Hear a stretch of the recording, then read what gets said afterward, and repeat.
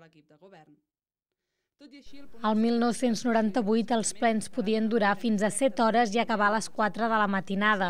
Ara això ja no passa, i encara que no tinguin una durada màxima preestablerta, el Reglament Orgànic Municipal de Cardedeu, aprovat el 2006, estableix que les intervencions puguin tenir una duració determinada, i serà precisament el mes vinent quan es plantejarà fer-hi modificacions. temes d'intervencions a ple per part de la ciutadania, possibilitats d'entrar en moció per part de- d'associacions o entitats del poble, llocs on celebrar el propi ple, horaris de- d'aquests plens, De fet, ja es va fer una prova celebrant el ple de febrer a les 4 de la tarda en canvi de les 7. Ara bé, no serà possible instaurar aquest horari fins que no hi hagi un canvi global per part de la ciutadania. No pot ser que nosaltres establim un horari de ple en el que després no pugui venir la ciutadania a assistir al propi ple.